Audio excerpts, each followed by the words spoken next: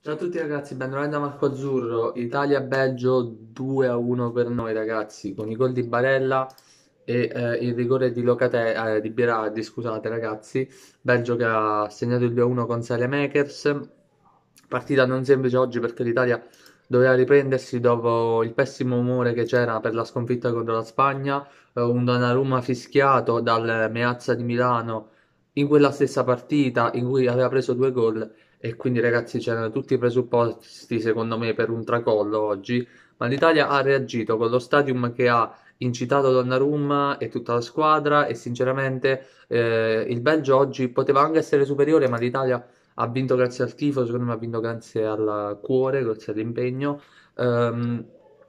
allora, eh, chiaramente ragazzi, quest'oggi era una partita che era veramente eh, importante solamente ai fini del ranking, però io voglio comunque sottolineare che oggi l'unico eh, giocatore che ancora una volta, dopo tutte le partite che si sta facendo, che ha impensierito veramente il Belgio fino al sessantesimo quando ha segnato Barella era stato Chiesa. Chiesa è veramente giocatore importantissimo, ragazzi, ha degli strappi assurdi, eh, penso che però comunque molti lo sappiano, non c'è bisogno che ve lo venga a dire io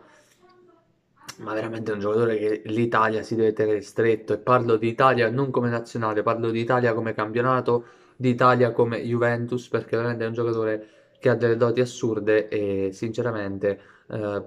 darei tanti soldi per averlo nel Napoli, detto sinceramente, nel mio Napoli. Mm, parlando dell'Italia in sé per sé, un po' di stronzate difensive sono state fatte, come sul gol di, di eh, il gol di De Catelar, però sinceramente eh, ho visto partite peggiori, considerato che giocavano Bastoni e Acerbi che non sono i titolari. Di Lorenzo ha sbagliato una marea di controlli su quella fascia, non so che problemi tenga. Poi ha avuto anche un fallo, quindi ragazzi ha subito anche un fallo. E quindi queste cose qui, ma per il resto l'Italia si è ripresa molto bene. Per quanto mi riguarda, questa non è stata una partita di pallone, sembrava una partita di rugby, molto messa sul fisico da parte dei, dei belgi l'Italia l'ha vinta tale quale, quindi tanta tanta roba. Noi ci vediamo alla prossima, sono raffreddatissimo. Ah, appunto, e, ehm, e quindi ciao a tutti.